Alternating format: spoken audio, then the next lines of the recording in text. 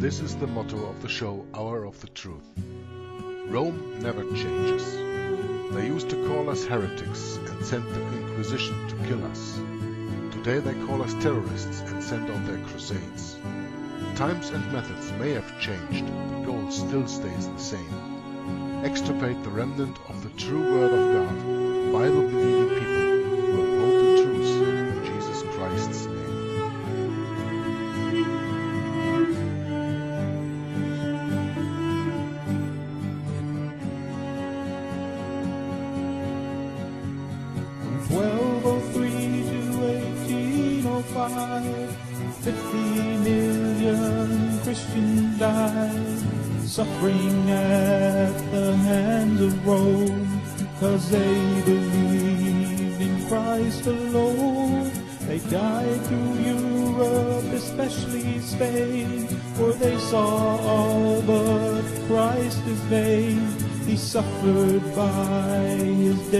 for men to save them from their awful sin.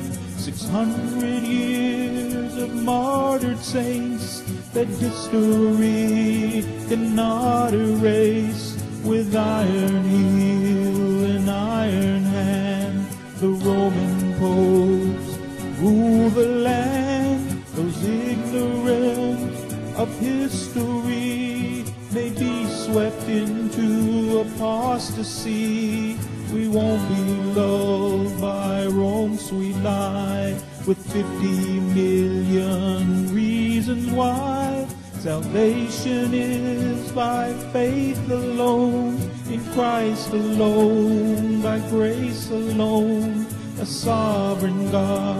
Give faith man.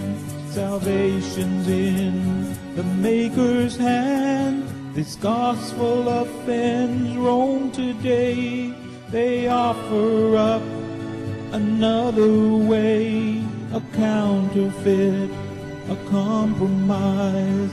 Beware the ancient papal lie with such a cloud of witnesses who by grace died in their Lord. Recall their memory to say, by the same faith we live today. Hallo, moin moin und herzlich willkommen zu einem neuen Video von Jörg, Joggler66, Stunde der Wahrheit. Zur heute am 6. Juli 2018, 18. Lesung des Buches Geschichte der Inquisition im Mittelalter von Henry Charles Lear Ende des 19. Jahrhunderts erschienen. Wir sind immer noch in Band 1 natürlich, ne, Geschichte der Inquisition und äh, Ursprung und Organisation der Inquisition und dort im vierten Kapitel die Kreuzzüge gegen die Albigenser. Wir hatten letztes Mal aufgehört bei der Belagerung von Toulouse und ähm, das handelt ja alles im Jahre 1211 ungefähr, wo wir hier jetzt von gelesen hatten. Äh, wir müssen dazu wissen, dass dieser Krieg äh, ungefähr 20 Jahre ging, zwischen ungefähr 1209 und 1229 mit Raimund und Montfort und den ganzen Personen, die wir besprochen hatten.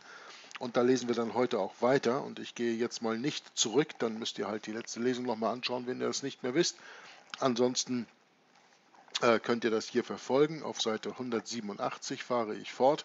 Unten im letzten Absatz, da wo wir letztes Mal davor den Satz aufgehört hatten, aber ich finde nicht, dass es da etwas gibt, worauf man unbedingt jetzt zurückgehen müsste. Es ging halt um die äh, Belagerung von der Stadt äh, Toulouse, um die es hier geht. Und äh, ermutigt durch diesen Erfolg, sagt der Autor, ging Raimund nunmehr zur Offensive über, aber mit wenig Glück. Die Belagerung von Castelnaudry war ein Fehlschlag und die folgenden zahlreichen, wenn auch unbedeutenden Kämpfe endigten meist zum Vorteile Montforts, dessen militärisches Geschick in seiner schwierigen Lage sich sehr vorteilhaft bewährte. Noch immer wurde der Kreuzzug in der ganzen Christenheit eifrig gepredigt, und die Truppen Montforts wurden in unregelmäßigen Zwischenräumen immer wieder durch neue, zwischen Anführungszeichen Pilgerbanden verstärkt. Da diese indessen nur ihre 40 Tage abdienen wollten, so sah er sich häufig, äh, so sah er sich häufig heute an der Spitze eines bedeutenden Heeres, während er morgen wieder nur mehr eine Handvoll Leute hatte. Um diese unausgebildeten Scharen von Angehörigen aller Nationalitäten in einem schwierigen, bitter feindlichen Lande richtig ausnutzen zu können, bedurfte es eines außerordentlichen Geschickes, und das besaß Montfort in hohem Maße. Obgleich häufig an Zahl überlegen, wagte sein Gegner doch niemals eine offene Feldschlacht.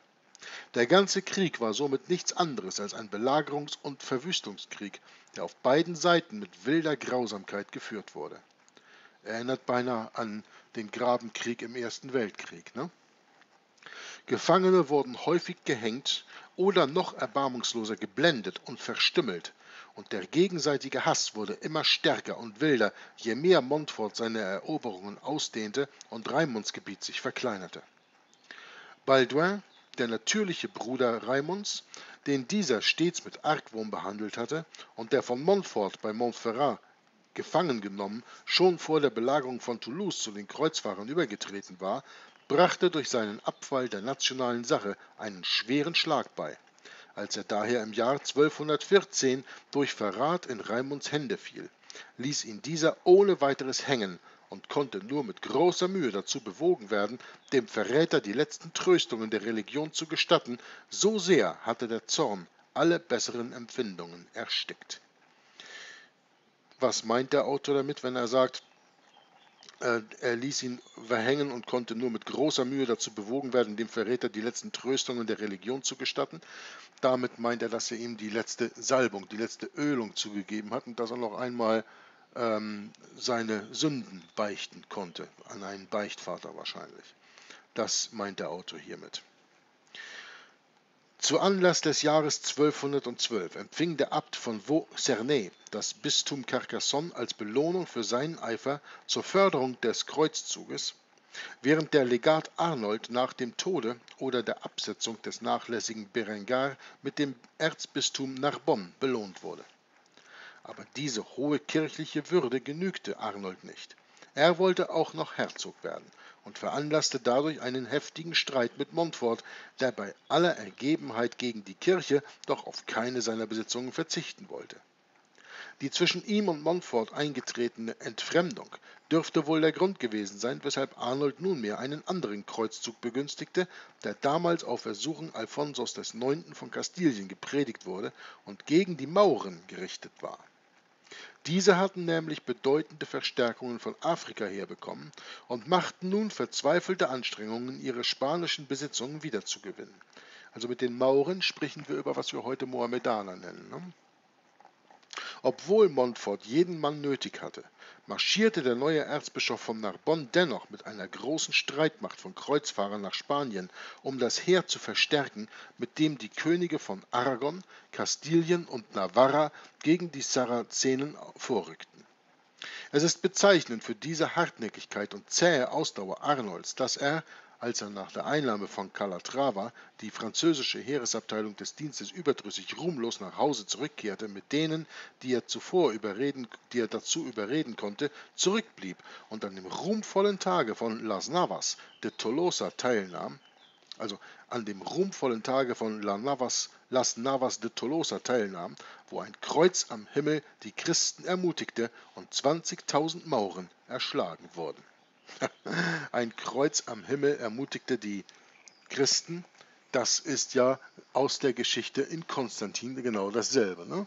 wo das Kreuz im Himmel erschien und dann dabei stand in hoc signo vinces. Ne? Das sind immer dieselben Tricks, die die gefallenen Engel sich einfallen lassen, um ihre Agenda zu erreichen.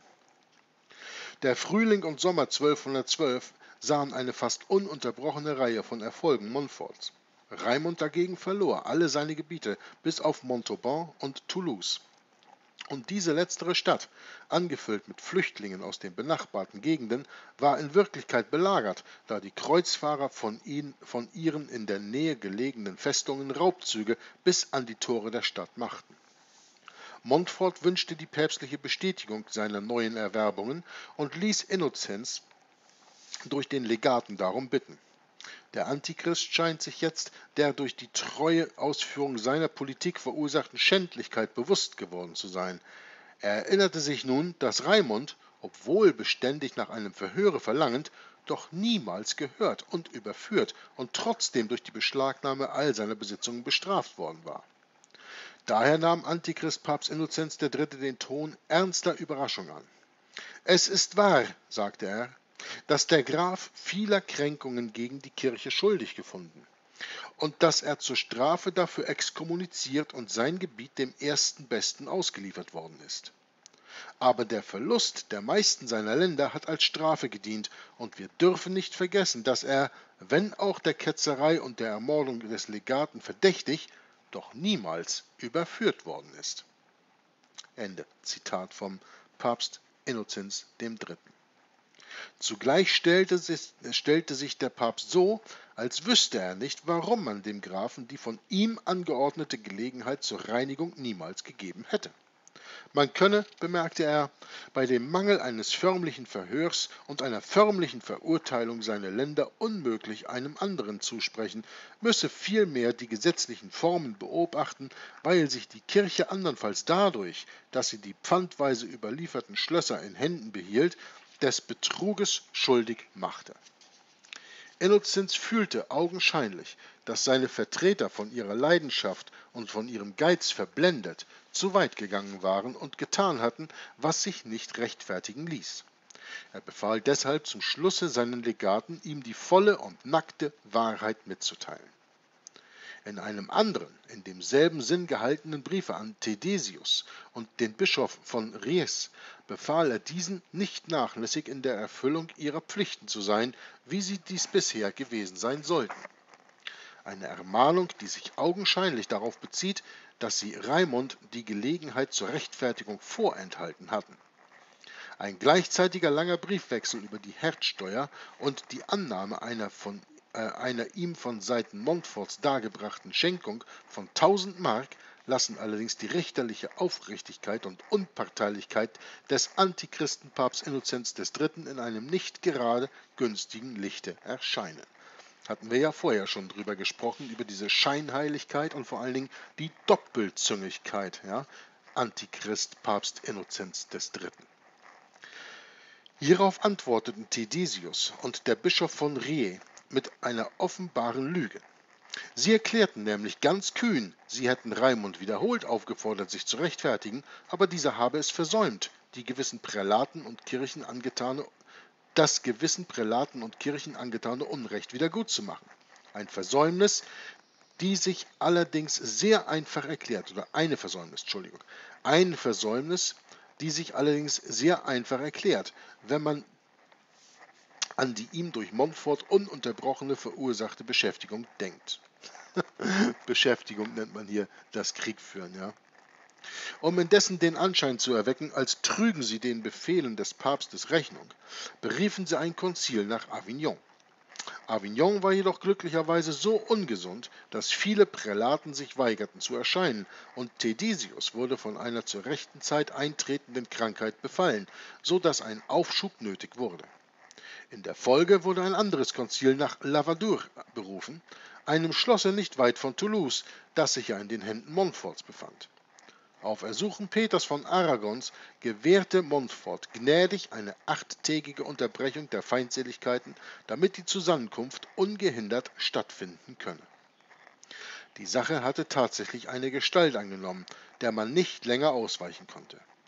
Peter von Aragonien war, besonders infolge seines Triumphs bei, Las Navas, ein Vorkämpfer des Glaubens geworden, den man nicht geringschätzig behandeln durfte. Er trat nun als Beschützer Raimunds und seiner eigenen Vasallen auf. Als Oberlehnsherr konnte er nicht ruhig zusehen, wie der Graf von Toulouse all seiner Länder beraubt wurde. Außerdem waren auch seine sonstigen Interessen in jener ganzen Gegend viel zu groß, als dass er gleichgültig der Aufrichtung einer so überwältigenden Macht wie der Montforts zusehen konnte. Die eroberten Lehen wurden an Franzosen verliehen. Ein Parlament war gerade in Pamiers abgehalten worden, um die Einrichtungen des Landes auf französischer Basis zu organisieren. Kurz, alles, gab nach einem vollständigen, alles sah nach einem vollständigen Umsturz der alten Ordnung aus. Es war daher hohe Zeit für Peter zu handeln. Zunächst sandte er seine Botschaft an Innozenz, in der er sich über das Vorgehen des Legaten beklagt, das er als willkürlich, ungerecht und den wahren Interessen der Religion widersprechend bezeichnete. Alsdann ging er nach Toulouse in der Absicht, für seinen zugrunde gerichteten Schwager einzutreten und auf diese Weise zugleich auch die Suprematie des Hauses Aragon über das Haus Toulouse, mit dem es früher so viele vergebliche Kämpfe gehabt hatte, zu sichern. Die Gesandten Peters veranlassten Innozenz, dass er Montfort befahl, alle Ländereien, die nicht Ketzern abgenommen waren, herauszugeben, und dass er an Arnold die Aufforderung richtete, den Kreuzzug gegen die Sarazenen nicht nicht dadurch zu verhindern, dass er durch Versprechung von Ablässen den Krieg im Tolosanischen Krieg verlängerte. Dieses Vorgehen des Papstes zusammen mit der kraftvollen Vermittlung Peters machte einen tiefen Eindruck und die ganze Hierarchie Languedocs wurde aufgeboten, um der Krise zu begegnen. Als das Konzil im Januar 1213 zu Lavour zusammentrat, überreichte der König Peter eine Petition, in der er demütig mehr um Gnade als um Gerechtigkeit für die ihrer Güter beraubten Adligen bat. Er legte eine förmliche, von der Stadt Toulouse bestätigte Verzichturkunde Raimunds und seines Sohnes vor, zusammen mit ähnlichen Schriftstücken der Grafen von Foix und Comminges und des Gaston von Bern, in denen sie alle ihre Länder, Rechte und Jurisdiktionsgewalt an Peter abtraten und ihm das Recht zuerkannten, damit nach Gutdünken zu verfahren, falls sie gegen die Gebote des Papstes sich widerspenstig zeigen würden. Er bat, dass man ihnen ihre eroberten Länder zurückgeben solle, sobald sie der Kirche für alle ihre Missetaten gebührende Genugtuung geleistet hätten.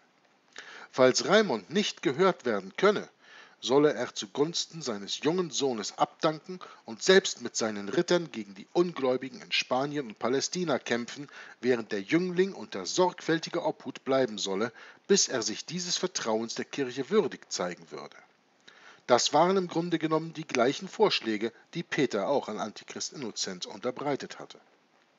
Keine Unterwerfung konnte vollständiger, keine Garantien ausreichender sein. Diese Abmachungen bedeuteten, wenn sie angenommen wurden, die sichere Ausrottung der Ketzerei. Aber die in Lavure versammelten Prälaten standen zu sehr unter der Herrschaft der Leidenschaften, des Ehrgeizes und des Hasses, die Erinnerung an das erlittene und erwiesene Unrecht und die Furcht vor Repressalien war zu stark bei ihnen, als dass sie für irgendein Entgegenkommen hätten gewonnen werden können. Der Untergang des Hauses Toulouse diente wesentlich zu ihrer Beruhigung, vielleicht auch, wie sie glauben mochten, zu ihrer persönlichen Sicherheit, und darum ließen sie in, ließen sie sich in der Erstrebung ihres Ziels durch nichts irre machen. Thedisius und der Bischof von Bies führten als Legaten den Vorsitz, während die versammelten Prälaten des Landes unter der, Vor unter der Führung des unbeugsamen Arnold von Narbonne standen. Alle Formalitäten wurden gehörig beobachtet. Die Legaten als Richter fragten die Prälaten als Beisitzer um ihre Meinung, ob Raimund zur Reinigung zugelassen werden solle. Die schriftliche Antwort fiel verneinend aus, und zwar nicht nur aus den eben angeführten Gründen, weil er nämlich ein notorischer Meineidiger sei, der nicht angehört werden könne, sondern auch, weil er während des Krieges neue Missetaten begangen hätte, durch Bekämpfung und Tötung der Kreuzfahrer, die ihn angegriffen hatten. Ha, außerdem berief man sich darauf, dass die auf ihm lastende Exkommunikation nur vom Papste gelöst werden könne. Hinter dieser letzteren Antwort verschanzten sich nunmehr die Legaten, indem sie Raimund erklärten, dass sie ohne ausdrückliche Genehmigung des Papstes nicht weitergehen könnten. Als Raimund um Gnade flehte und eine neue Zusammenkunft erbat, wurde ihm kühl geantwortet, dass dies nur nutzlose Mühen und Ausgaben für beide Parteien verursache. Es blieb noch übrig, über die Berufung des Königs Peter zu befinden. Auch diese Sache wurde mit, der, mit denselben Unaufrichtigkeiten und ähnlichen Ausflüchten erledigt. Die Prälaten übernahmen es, die Anfrage Peters ohne Mitwirkung der Legaten zu beantworten, um so sagen zu können, dass Raimunds Angelegenheit nicht in ihren Machtbereich gehöre, da er sie selbst in die Hände der Legaten gelegt habe. Außerdem aber hätten, sie ihn seine Exzesse, hätten ihn seine Exzesse jeder Gnade unwürdig gemacht. Bezüglich der anderen drei angeklagten Fürsten beschränkte man sich darauf, eine ausführliche Aufzählung ihrer Verbrechen zu geben, wozu auch ihre Selbstverteidigung gegen die Kreuzfahrer gehörte, und ihnen zu erklären, dass man, wenn sie die Kirche befriedigt und Absolution erlangt hätten, ihre Klagen anhören wolle. Doch wurde ihnen nicht gesagt, auf welche Weise sie die Absolution erlangen könnten. Die in Peters Petition angebotenen Garantien wurden überhaupt keine Beachtung gewürdigt. Ja, Arnold von Narbonne schrieb in seiner Eigenschaft als päpstlicher Legat dem Könige so einen sehr heftigen Brief, in welchem er in welchem er ihn mit der Exkommunikation bedrohte, falls er seinen Verkehr mit angeklagten und exkommunizierten Ketzern nicht aufgebe. Das Gesuch Peters um einen Waffenstillstand bis Pfingsten oder wenigstens bis Ostern wurde abgeschlagen, weil ein solcher angeblich den Erfolg des Kreuzzuges hemmen würde. Der Kreuzzug wurde noch immer in ganz Frankreich gepredigt, mit einem Eifer, welcher die Zweifel an der Aufrichtigkeit der gegenteiligen Befehle des Papstes Innozenz nur zu gerechtfertigt erscheinen lässt. Das ganze Verfahren war eine so offenkundige und so herausfordernde Verhöhnung der Gerechtigkeit, dass man befürchten musste, Innozenz würde es, zumal unter dem Einflusse der mächtigen Intervention des Königs Peter, annullieren. Daher wurden der Legat Thedesius und mehrere Bischöfe nach Rom gesandt, um dort ihren persönlichen Einfluss geltend zu machen. Außerdem richteten die Prälaten des Konzils ein Schreiben an den Papst, worin sie ihn bei der göttlichen Gnade beschworen, sich von dem einmal begonnenen guten Werke nicht zurückzuziehen, sondern nun auch die Axt an die Wurzel des Baumes zu legen und ihn für immer umzuhauen. Raimund wurde in diesem Schreiben in den schwärzesten Farben geschildert. Die Tatsache, dass er sich um die Höfe des Kaisers Otto bemüht, sowie von Savary von Montléon, dem Stellvertreter des Königs Johann von Aquitanien, Höfe empfangen hatte, wurden geschickt benutzt, um den Hass des Papstes zu erwecken, da diese beiden Monarchen Feinde Roms waren. Ja, man verstieg sich sogar zu der Behauptung, Raimund habe die Höfe des Sultans von Marokko zur vollständigen Vernichtung des Christentums erbeten. In der Befürchtung, diese Anschuldigungen möchten noch nicht ausreichend sein, überschwemmten die Bischöfe aus allen Teilen jener Gegend den Papst unaufhörlich mit Briefen, worin sie ihm versicherten, dass Friede und Wohlfahrt den Kreuzfahrern auf dem Fuße gefolgt sei. Dass in dem ehemals von Ketzern und Banditen erfüllten Lande Religion und Sicherheit wieder eingekehrt wären, also Katholizismus. Ja? Dass, wenn nun noch die letzte Anstrengung gemacht, und Toulouse mit seiner verhassten Brut, die so schlecht sei wie die Kinder Sodoms und Gomorras vom Erdboden vertilgt werde, die Gläubigen alsdann eines neuen gelobten Landes sich würden erfreuen können. Gestatte man dagegen Raimund von neuem sein Haupt zu erheben, so würde die größte Verwirrung wieder Platz greifen, und dann wäre es besser für die Kirche, bei den Barbaren sich eine Zuflucht zu suchen. In all diesen Briefen wurde aber dem Papste nichts gesagt von den Garantien, die König Peter angeboten hatte, und dieser war daher genötigt, im März 1213 Abschriften der von den beschuldigten Fürsten ausgestellten, ausgestellten Verzichturkunden, die der Erzbischof von Tarragona und seine Suffraganbischöfe beglaubigt hatten, direkt an den Papst einzusenden. Ich möchte noch mal eben zurückgehen auf den Anfang der Seite 194. Da hatte ich gerade vorgelesen, man verstieg sich sogar zu der Behauptung, Raimund habe die Höfe des Sultans von Marokko zur vollständigen Vernichtung des Christentums erbeten. Dergleichen Lügen, die da im römischen Katholizismus gemacht werden, ziehen sich durch die Politik desselben bis heute in 2018. Ja? Dass irgendein Staat einem anderen Staat einen Auftrag gegeben hätte, irgendetwas zu tun, um damit eine bestimmte Sache zu erreichen. Das sind politische Intrigenspiele, wie wir sie heute, 800 Jahre später, immer noch kennen. Und deswegen finde ich diese Lesung so wichtig, dass wir aufgrund der Geschichte, die wir hier lernen, verstehen, wie die Geschichte sich bei uns ständig wiederholt. Diese politischen Intrigenspiele von heute beherrschen die Jesuiten in einem dermaßen zu einem dermaßen Perfektionismus äh, ausgewachsen, dass man das schon gar nicht mehr erkennen kann. Und schon gar nicht, wenn man sich nicht der Geschichte bewusst ist, die hier zugrunde liegt. Wenn einer diese Geschichte nicht kennt und sieht, was hier dem Raimund vorgeworfen wird, dass er sich zum Beispiel die Hilfe des Satans von Marokko zur vollständigen Vernichtung des Christentums erbeten hätte, was ja eine Lüge war. Und wenn man das nicht weiß, dass in der römisch-katholischen Kirche dergleichen Lügen politische Geschichte haben, dann erkennt man auch nicht die Lügen, die sie einem heute erzählen. Genau dafür finde ich diese Lesung doch sehr wichtig, dass wir uns gut davon ähm, bewusst sein müssen, dass die römisch-katholische Kirche das ist, was ihr Motto sagt. Semper e adem immer dieselbe, sich niemals verändernd. Dieselben Lügen, die sie vor 800 Jahren gebrauchten und auch vor 1800 Jahren, die gebrauchen sie heute noch ganz genauso in 2018. Und dazu sollte das Buch hier jetzt helfen, dass wir da helfen, dass wir das mal sehen. Diese Verschwörungen, die hier gegen den Raimund gemacht werden, nur weil der Raimund nicht gegen die Ketzer so vorgegangen ist, wie die römisch-katholische Kirche das wollte. Aus welchen Gründen auch immer, das lasse ich jetzt mal in der Mitte stehen aber er hat sich geweigert, gegen die Ketzer so vorzugehen, wie der Papst es vorgeschlagen hat. Und dann schreiben sie hier, dass man sich sogar versteigt zu der Behauptung, Raimund habe die Höfe des Sultans von Marokko zur vollständigen Vernichtung des Christentums erbeten. Tja, der Sultan von Marokko, der also da die Mohren regiert hat, die Mohammedaner in Nordafrika, die Mohammedaner waren damals eine große Gefahr, wie wir ja auch später noch gesehen hatten. In der Zeit von Martin Luther standen sie ja auch vor Wien. Ne? Also, gar nicht mal so abwegig. Aber Raimund hat das nicht getan. Aber man hat ihn deswegen bezichtigt.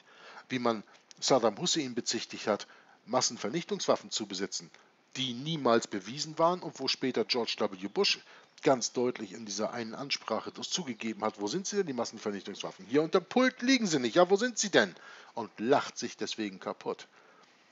Andere politische Führer werden von allen möglichen Dingen beschuldigt, ohne dass diese nachgewiesen werden. Und das hat Geschichte in der römisch-katholischen Kirche. Und das macht hier der Autor ganz deutlich. Das müssen wir da halt nur richtig rauslesen.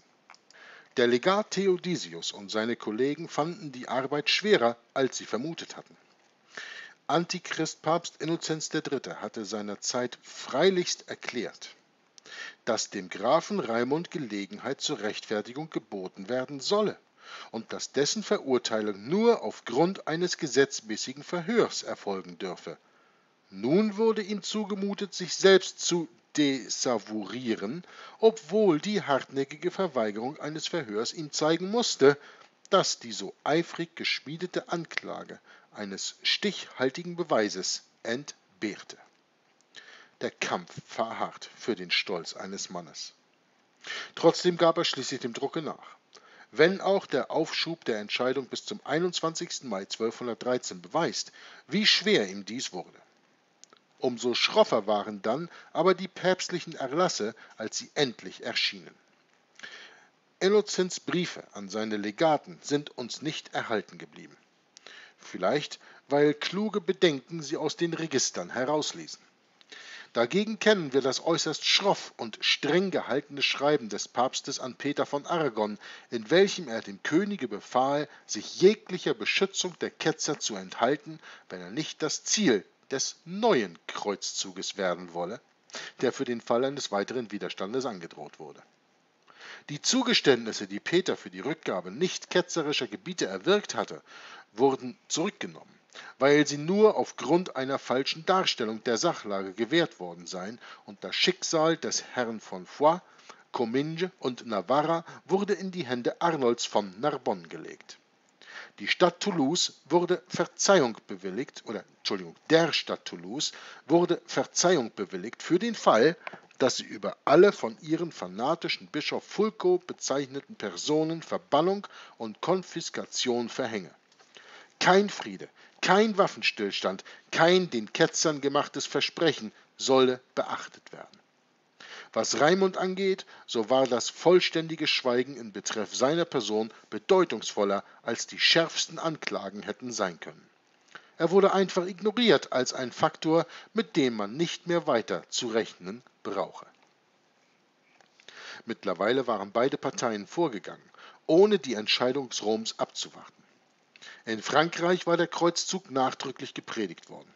Ludwig Löwenherz, Philipp Augustus Sohns, hatte mit vielen Baronen selbst das Kreuz genommen.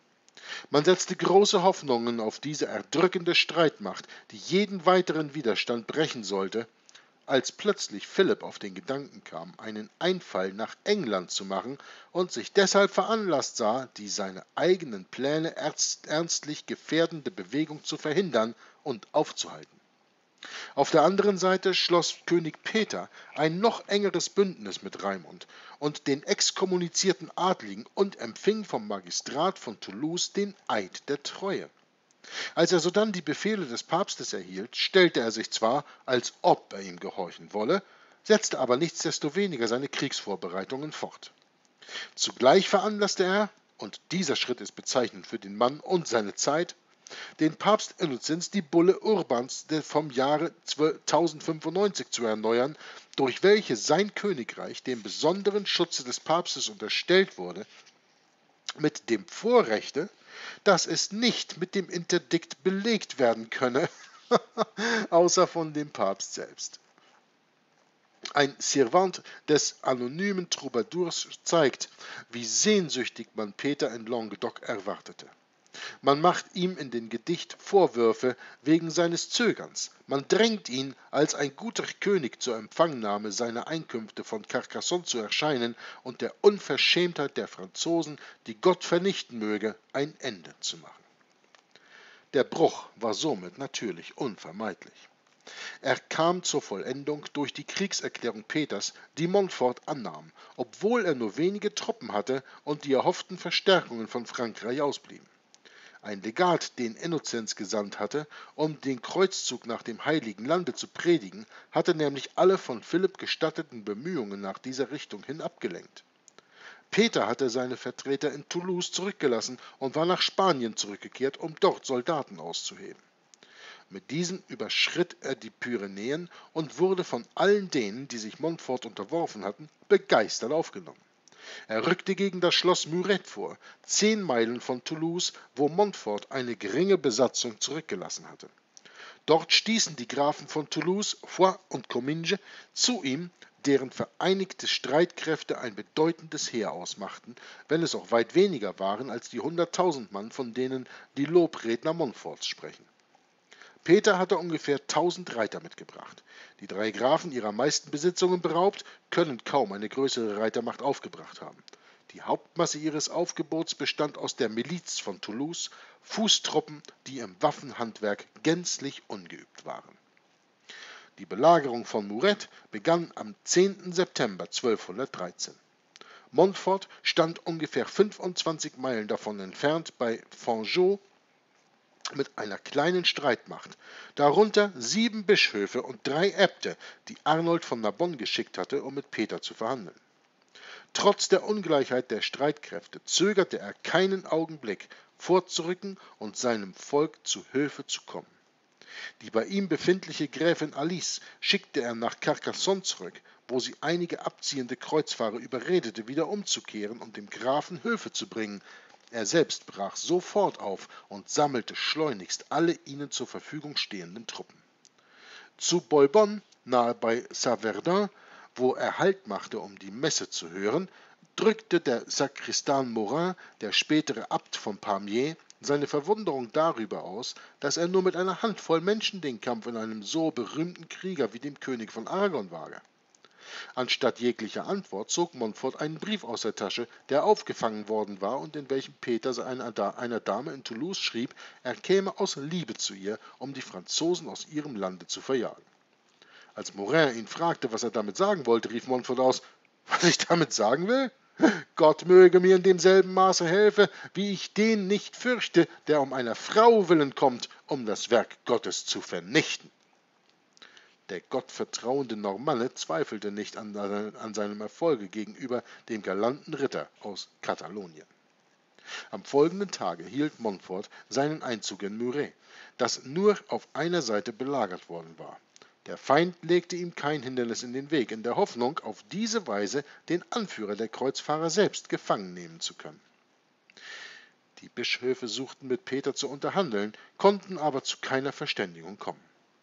Am folgenden Morgen, einem Donnerstag, dem 13. September, machten die Kreuzfahrer etwa 1000 Reiter stark einen Ausfall zum Angriff. Als sie an dem Bischofe von Comminges vorbeikamen, sprach ihnen dieser Mut zu, mit der Versicherung, er werde am Tage des jüngsten Gerichts ihr Zeuge sein, und keiner, der erschlagen werde, würde ins Fegefeuer kommen für alle Sünden, die er gebeichtet habe oder nach der Schlacht beichten wolle. Die heiligen Männer versammelten sich in der Kirche und beteten eifrig zu Gott für den Erfolg seiner Krieger. Unter ihnen soll sich auch der heilige Dominikus befunden haben, und es wird allen Ernstes erzählt, dass der folgende Sieg hauptsächlich der Verehrung für den angeblich von ihm erfundenen und eifrigst gebetenen Rosenkranz zu verdanken sei. Ein Sieg in einer Schlacht, weil der, der, Krieg ist ja noch nicht beendet, aber ein Sieg in einer Schlacht wird hier gewidmet an den Erfolg des Betens des Rosenkranzes an die Himmelskönigin, wie sie in der römisch-katholischen Kirche in der inneren Lehre heißt und nach außen hin die Anführungszeichen Mutter Maria ist. Und das erklärt natürlich auch vieles, was in der Zukunft mit dieser Mutter Maria passieren wird und mit ihren Erscheinungen, die wir ja äh, seit einiger Zeit schon kennen, unter anderem ja Vielfalt, äh, im, vielfalt im 20. Jahrhundert, unter anderem die Erscheinung in Fatima und die Erscheinungen in Lourdes und in Medjugorje und wo nicht noch überall auf dieser Welt. Und hier wird tatsächlich der Erfolg des Krieges oder hier dieses Sieges der Verehrung an den Rosenkranz gegeben. Weil der Rosenkranz gebetet wurde und das Maria-Gebet, das dazu gehörte, gebetet wurde, deswegen kam der Sieg. Aus demselben Grunde, weshalb Konstantin dachte, er hätte das Kreuz gesehen in Hoc Signo Vincis und daher kam sein Sieg an der, an der Brücke von Mil, Milvin oder wie das hieß da. Und ähm, aus demselben Grunde, wie wir vorher hier schon bereits gehört hatten, wo, das ja auch, wo denen ja auch mal ein Kreuz im Himmel erschien und sie deswegen den Sieg hatten. Also immer spielen dem, die Dämonen hier ganz, ganz kräftig mit. Aber das mit dem Rosenkranz, das finde ich, setzt dem Ganzen hier, setzt dem Ganzen hier den, äh, die Krönung auf. Es ist nur mal die Frage, wie lange wird es noch dauern, bis ein Krieg oder eine Schlacht in dem Krieg heute, in dem Dritten Weltkrieg gewonnen wird, darum, weil man vorher zur Maria gebeten hat. Gebeten hat ne? Auch mal ganz interessant, das abzuwarten, wie sich das in unserer Zeit fortsetzt. Im Englischen werde ich ja das Buch da lesen über äh, Queen of Islam, Queen of Rome, Queen of All, ne? also die Königin des Islam, die Königin des Ro von Rom, die Königin von allen, was eben über diese Maria eben geht, wo natürlich auch der Rosenkranz nicht ganz unbeteiligt daran ist. Das Buch gibt es aber leider nicht in Deutsch, das werde ich halt nur in Englisch lesen. Aber wer des Englischen mächtig ist, der sollte sich das Buch ganz sicher besorgen und dann kann man viel tiefere Einblicke gewinnen in diese total verkehrte Lehre, wie sie in der römisch-katholischen Kirche weit verbreitet ist, worauf die römisch-katholische Kirche hauptsächlich baut, kann man sogar zum Teil sagen, auf diesen Rosenkranz und die Verehrung der zwischen Anführungszeichen Jungfrau Maria. Der Autor fährt fort und sagt, als Montfort in entgegengesetzter Richtung abzog, glaubten die Belagerer zuerst, er wolle die Stadt ganz verlassen. Sie merkten erst ihren Irrtum, als er eine Schwenkung machen ließ und sie gewahr wurden, dass er nur einen Umweg gemacht hatte, um etwas Terrain für einen Angriff zu gewinnen. Graf Raimund riet, den Angriff hinter der Wagenburg abzuwarten und die Kreuzfahrer durch Wurfgeschosse zu erschöpfen, aber der feurige Katalonier verwarf diesen Rat als feige. Dann legten die Reiter in fieberhafter Eile den Panzer an und stürzten in ungeordneten Massen vor, den Fußsoldaten die weitere Belagerung überlassend. Eifriger auf den Ruhm eines tapferen Kriegers als auf den eines geschickten Feldherrn bedacht, war Peter sogleich hinter der Vorhut vorgerückt. Plötzlich kamen zwei Haufen der Kreuzfahrer in geschlossener Ordnung heran unter ihnen zwei berühmte französische Ritter, Alain de Roussy und Florent de Ville, die sich verabredet hatten, sich an ihn heranzumachen. Kaum erkannten sie den König, so stürzten sie auf ihn zu, warfen ihn schnell vom Pferde und erschlugen ihn. Die Verwirrung, die durch seinen Tod in den Reihen der Anhänger erzeugt wurde, artete in völlige Panik aus, als sie Montfort an der Spitze einer dritten Abteilung von der Flanke angriff. Alle wandten sich zur Flucht. Die Franzosen verfolgten sie und erschlugen sie ohne Gnade und Barmherzigkeit. Dann kehrten sie um und überfielen das Lager, wo die Fußtruppen noch nichts von dem üblen Ausgang der Schlacht ahnten. Ein furchtbares Gemetzel entstand hier. Nur wenigen gelang es, an die Garonne zu fliehen und überzusetzen, und auch von diesen ertrank ein nicht unbeträchtlicher Teil. Der Verlust der Kreuzfahrer belief sich auf etwa 20 Mann, während die Verbündeten 15 bis 20.000 Mann verloren haben sollen. Dass bei diesem Siege die Hand Gottes selbst mitgeholfen habe, war keinem unzweifelhaft, zumal da am letzten Sonntage im August zu Rom für den Erfolg der katholischen Waffen eine große Bittprozession mit feierlichen Zeremonien und nachfolgenden zweitägigen Fasten abgehalten worden war. Es soll dann auch nach dem Bericht des Königs Jakob der Tod seines Vaters und die dadurch herbeigeführte Niederlage lediglich eine Folge seiner Lasterhaftigkeit gewesen sein. Die albigensischen Adligen hätten ihm nämlich, um seine Gunst zu gewinnen, ihre Frauen und Töchter überlassen, und er habe sich durch seine Exzesse so erschöpft, dass er am Morgen des Schlachttages bei der Zelebration, also der Feier der Messe, nicht mehr auf den Beinen habe stehen können. In einer Fußnote geht der, in einer Fußnote geht der Autor hier nochmal eben rein und sagt, der Infant Jakob selbst, damals noch ein Kind von sechs Jahren, war noch als Geißel in den Händen Montforts. Waren die katalonischen Chronisten äh, wenn die katalonischen Chronisten die Wahrheit berichten, so kostete es große Mühe, seine Freilassung zu bewirken, auch nachdem Innozenz III. dieselbe anbefohlen hatte. Im Buch fahren wir auf Seite 199 fort. Mit den wenigen ihm zur Verfügung stehenden Truppen war es Montfort unmöglich, seinen Vorteil auszunutzen. Daher war auch eine unmittelbare Wirkung dieses wunderbaren Sieges kaum zu bemerken. Die Bürger von Toulouse gaben den Wunsch nach Frieden zu erkennen. Als aber ihr Bischof Fulco 200 Geißeln als Sicherheit verlangte, also Geiseln, weigerten sie sich mehr als 60 zu stellen, und als der Bischof sich damit einverstanden erklärte, zogen sie auch dieses Anerbieten zurück. Montfort machte seinen Streifzug nach Foix, blutige Verheerungen auf seinem Weg zurücklassend, und zeigte sich auch vor Toulouse, musste indessen bald zur Defensive übergehen. Als er in friedlicher Absicht vor die Stadt Narbonne kam, über die er die Oberherrschaft beanspruchte, verweigerte man ihm den Eintritt. Dasselbe geschah ihm in Montpellier, und alle diese Beleidigungen musste er stillschweigend hinunterschlucken. So war seine Lage während des Winters von 1214 fast eine verzweifelte zu nennen, als plötzlich eine völlige Wendung eintrat. Das Verbot, den Kreuzzug in Frankreich zu predigen, wurde aufgehoben. Gleichzeitig traf die Nachricht ein, dass ein Heer von hunderttausend neuen Pilgern nach Osten zu erwarten sei. Und endlich erschien ein neuer Legat, Kardinal Peter von Benevent, mit päpstlichen Vollmachten und nahm in Narbonne die bedingungslose Unterwerfung der Grafen von Toulouse, Foix und Comminges dem Vicomte Emeric von Narbonne und der Stadt Toulouse entgegen. Alle versprachen, die Ketzer zu vertreiben und allen Geboten der Kirche unbedingten Gehorsam zu leisten, sowie jede von ihnen verlangte Sicherheit zu bieten.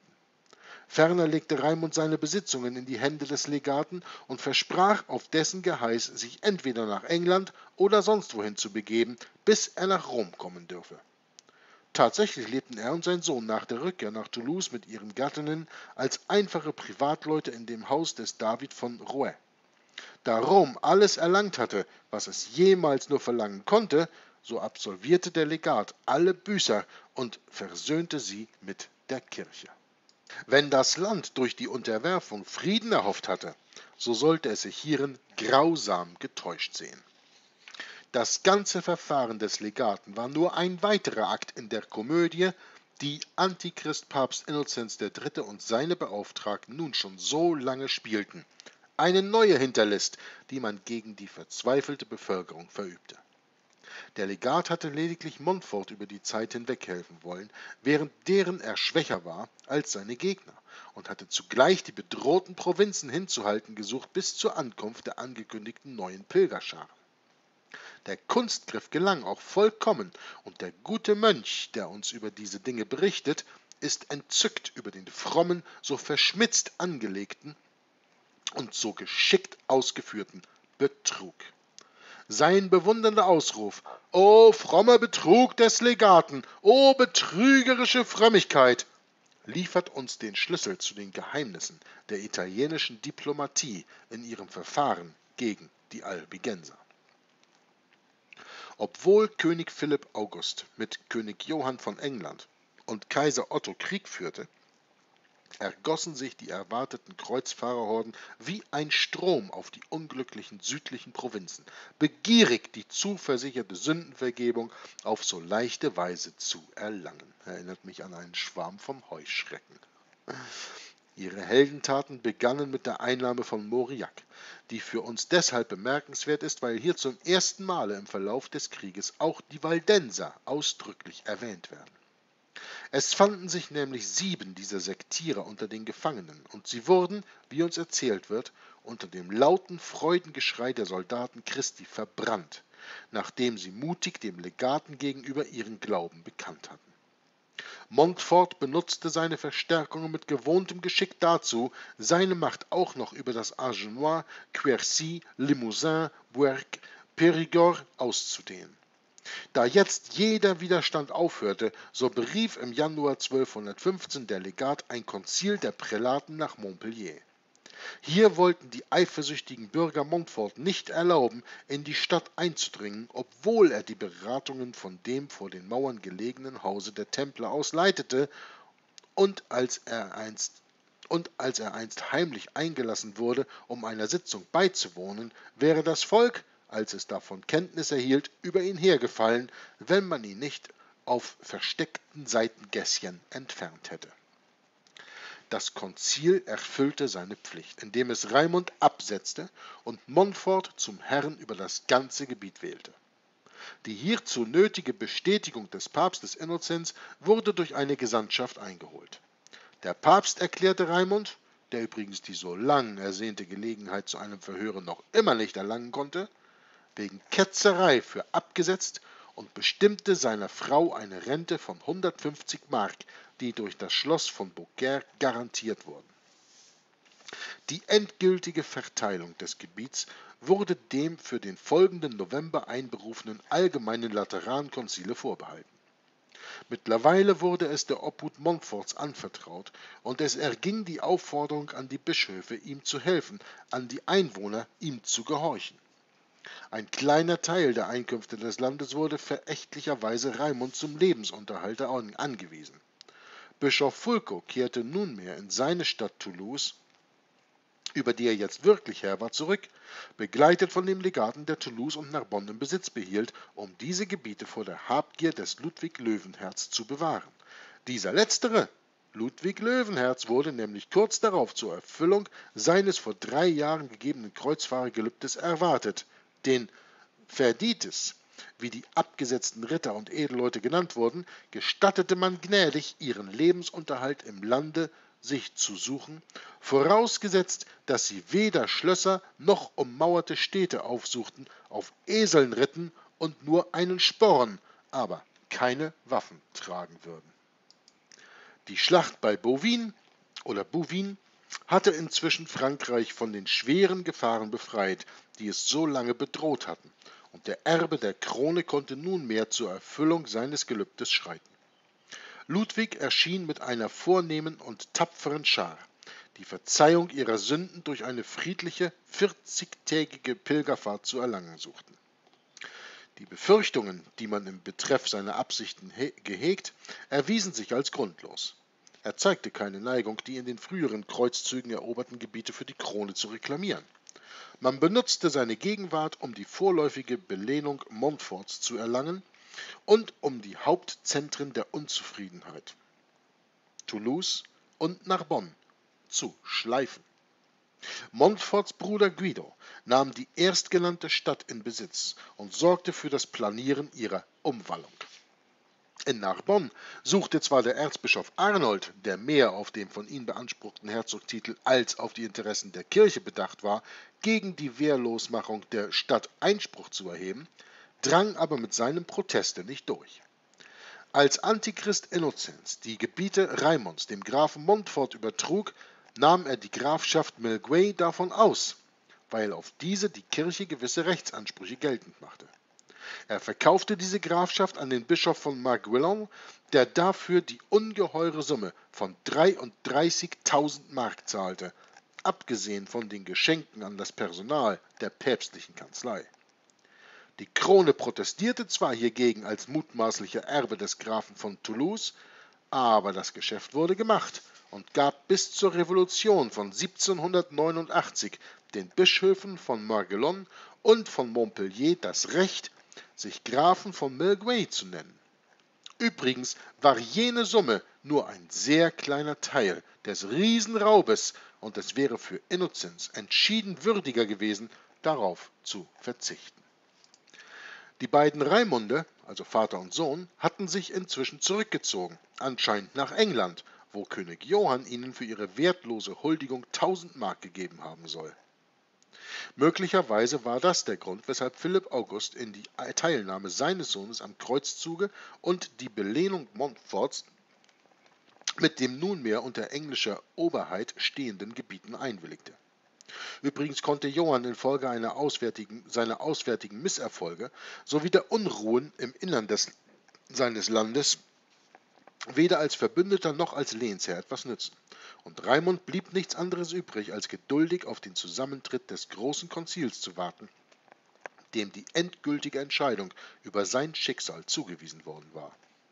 Hier durfte er auch hoffen, endlich einmal Gehör und Gelegenheit zur Anrufung der ihm so lange und so hartnäckig verweigerten Gerechtigkeit zu finden. Tja, die Hoffnung stirbt zuletzt, ne? Im April 1213 hatte der Papst die Einladungen zu den Parlamente der christlichen Kirche, dem zwölften Generalkonzil, ergehen lassen. Hier sollte die versammelte Weisheit und Frömmigkeit der Kirche über die Wiedergewinnung des heiligen Landes, über die Reform der Kirche, die Beseitigung der Missbräuche, die sittliche Hebung und Besserung der Menschen, die Ausrottung der Ketzerei, die Stärkung des Glaubens und die Beruhigung der Zwietracht beraten. Was für eine Agenda für so ein Konzil. Hm? Das Konzil soll also schauen über eine Reform der Kirche. Das ist noch nicht mal der Reformation ein paar hundert Jahre später geglückt. Beseitigung der Missbräuche. Ja, ich kann doch nicht den Fuchs zum Aufpasser des Hühnerhauses machen. Ja? Wie soll ich denn die Beseitigung der Missbräuche innerhalb der Kirche äh, angehen, wenn das aus einem Konzil rauskommen muss, das ja selbst nur aus diesen Kirchenleuten besteht, die ja an den Missbräuchen beteiligt sind. Die sittliche Hebung und Besserung der Menschen. Ja, wenn ich unsittliche Menschen in ein Konzil setze, dann kann ich ja auch nur unsittliche Gesetze davon kriegen. Ne? Die Stärkung des Glaubens und die Beruhigung der Zwietracht, da sollte auch drüber beraten werden. Also alles, was sich dieses Konzil vorgenommen hat, ist doch im Grunde von vornherein zum Scheitern verurteilt. Es ist doch genauso, wie wenn sich unsere deutsche Bundesregierung zusammensetzt und darüber berät, wie man die Korruption im Lande bitteschön gegen angehen kann. ja, das wird niemals funktionieren. Ganz einfach. Also dieses Konzil ist im Grunde von vornherein zum Scheitern verurteilt. Aber der Autor fährt fort und sagt, all diese Dinge waren als Beratungsgegenstände festgesetzt und zweieinhalb Jahre Zeit wurden zur Vorbereitung sogar gewährt. An dem bestimmten Tage, dem 1. November 1215, ein Schelm, der Böses dabei denkt, dass es da um den Allerheiligen geht, ja, traten die Prälaten zusammen und Antichrist Innozenz durfte sich in verzeihlichem Stolze rühmen, die erlauchteste Versammlung, welche die lateinische Christenheit je gesehen hatte, eröffnen und leiten zu können. Die Eroberung Konstantinopels ermöglichte, wenigstens dem Namen nach, eine Vereinigung der Morgen- und Abendländischen Kirche. Und die Patriarchen von Konstantinopel und Jerusalem erschienen auf dem Konzile als die demütigen Diener des Nachfolgers Petri. Alles, was in Kirche und Staat hervorragte, war entweder persönlich erschienen oder hatte Stellvertreter gesandt. Jeder Monarch hatte seinen Gesandten auf dem Konzil, um seine Interessen auf dieser Versammlung wahren zu lassen, die von dem Grundsatze ausging, dass die weltlichen Angelegenheiten den geistlichen ganz untergeordnet seien. Na, das kennen wir ja schon zur Genüge, ne? Und die infolgedessen die Rechte der Herrscher gerade nicht sehr respektierte. Die gelehrtesten Theologen und Doktoren waren zur Stelle, um Rat zu erteilen in Glaubenssachen oder in den verwickelten Fragen des kanonischen Rechts. Die Kirchenfürsten hatten sich in einer noch nie dagewesenen Anzahl eingefunden. Außer den Patriarchen waren da 71 Erzbischöfe oder Metropoliten, 412 Bischöfe, mehr als 800 Äbte und Prioren und die zahllosen Vertreter der nicht anwesenden Prälaten. Zwei Jahrhunderte sollten vergehen, ehe Europa wieder eine, seine Gesamtvertretung darstellen konnte in einer Körperschaft, wie die zwar, welche damals in den drei weiteren Hallen der Basilika Konstantins sich drängte. Dann sprechen wir wahrscheinlich vom Konzil von Konstanz in 1415. Dass auf Befehl des Papstes eine solche einheitliche Versammlung der Christenheit zusammentrat, wie sie eine andere Macht nie hätte zusammenbringen können, zeigt, wie sehr die Kirche es verstand, den zentrifugalen Bestrebungen der Nation entgegenzuwirken und dadurch der modernen Zivilisation einen ganz unschätzbaren Dienst zu erweisen. Denn ohne eine solche Zentralmacht würde dieselbe wohl ein ganz anderes Aussehen erhalten haben. So, wir sprechen hier also von dem vierten Laterankonzil, von 1213. Das standfand zwischen 1213 und 1215. Und ich habe das mal eben auf Wikipedia mit rausgesucht und werde da mal eben vorlesen, was da jetzt auf Wikipedia drüber drin steht. Und damit werden wir das Video von heute dann beschließen. Das vierte Laterankonzil, auch vierte Lateransynode, war das bedeutendste Konzil des Mittelalters. Es wurde durch die päpstliche Bulle Viniam Domini Sabaoth von Antichrist Papst Innozenz III. vom 19. April 1213 einberufen und im November 1215 im römischen Lateran abgehalten. In der katholischen Kirchengeschichtsschreibung gilt es seit Bellarmins Disputationes von 1586 trotz Abwesenheit der Ostkirche als ökumenisches Konzil. Antichrist Papst Innozenz III. gilt als einer der bedeutendsten Kirchenrechtler des Mittelalters. Dementsprechend ließ er auf dem Konzil eine Fülle von Verfahrensregeln verabschieden. Sein Entwurf über die Finanzierung der römischen Diskaterien wurde allerdings abgelehnt, die anderen Kanones feierlich bestätigt. Diese wurden später von den Glossatoren gegliedert, nummeriert und in verschiedene Kirchenrechtssammlungen aufgenommen und fanden weiteste Rezeption in den europäischen Teilkirchen, unter anderem auf Provinzialsynoden. Als bedeutendster und wohl einer der frühesten Kommentatoren des Vierten Laterankonzils gilt Johannes Teutonicus Zimmecke. So, und dann lesen wir mal hier eben über die Dogmatik. Der erste Kanon referiert, paraphrasiert und entfaltet das große Glaubensbekenntnis von Nicäa und Konstantinopel unter Verwendung von Formulierungen des sogenannten athanasanischen Glaubensbekenntnisses und reagiert dabei auf seinerzeit umstrittene Punkte so seien auch der Teufel und andere Dämonen ursprünglich gut geschaffen, dann aber aus sich selbst böse geworden. Der Kanon betont weiterhin die Heilsnotwendigkeit der einen Kirche, Zitat, in der Jesus Christus zugleich Priester und Opfergabe ist, Ende Zitat, dessen Leib und Blut durch eine wesensmäßige Verwandlung von Brot und Wein im Sakrament des Abendmahls enthalten seien.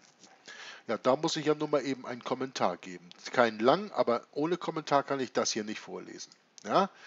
Der Kanon betont weiterhin die Heilsnotwendigkeit der einen Kirche, in der Jesus Christus zugleich Priester und Opfergabe ist.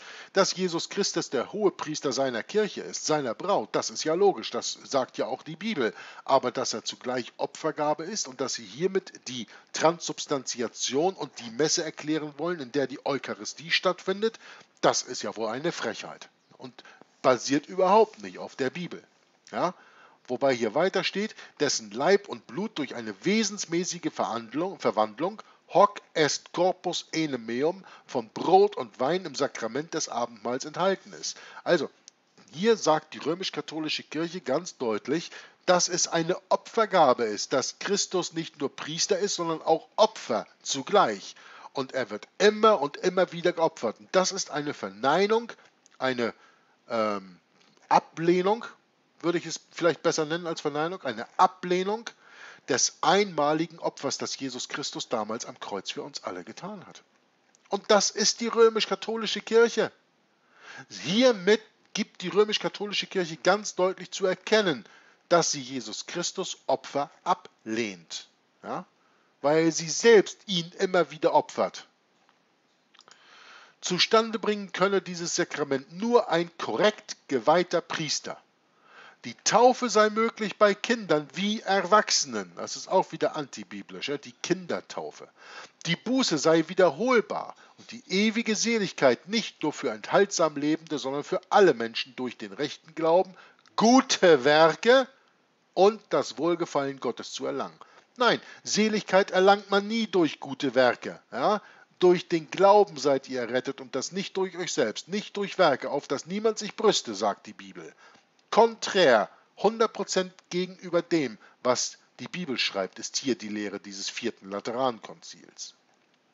Ohne ausdrückliche Nennung richten sich viele dieser Erläuterungen gegen die Katharer, die einen ursprünglichen Dualismus guter himmlischer und böser irdischer Mächte lehrten, das Abendmahl nicht als Sakrament ansahen und nur asexuell lebenden Anhängern die Möglichkeit zum Heil einräumten.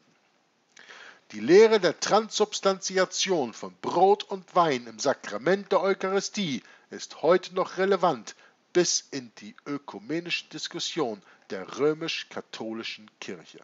So, und mit diesem Satz schließe ich jetzt hier bei 59 Minuten diese Lesung ab und wir werden in der nächsten Lesung anfangen, mit diesem Artikel über Wikipedia, über das vierte Laterankonzil weiterzulesen, mit dem wir uns in dem Buch beschäftigen von Henry Charles Lear, die Geschichte der Inquisition im Mittelalter in dem vierten Kapitel über die Kreuzzüge gegen die Albigenser.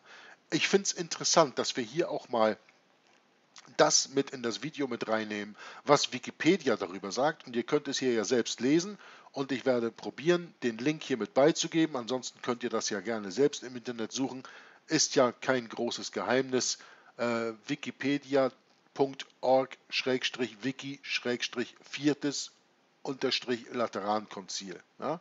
Einfach nur eingeben in die Google-Suche viertes Laterankonzil und dann kommt ihr da schon drauf. Könnt ihr den Artikel selbst lesen, aber ihr habt den ja hier auch im Bild. Aber hier möchte ich es für heute mit abschließen über die Dogmatik, die ja nun schon reichlich war. Da werde ich dann nächstes Mal noch mal kurz drauf eingehen und dann werden wir über die Ketzerverfolgung und solche Dinge, Kirchenverfassung, Moral der Kleriker, Buße, Bischofswahlen und so weiter nächstes Mal im 19. Teil der Buchlesung über die Geschichte der Inquisition im Mittelalter fortfahren. Soweit bis heute. Herzlichen Dank fürs Zuhören und Zuschauen. Möge Gott euch beschützen, hüten und segnen. Maranatha.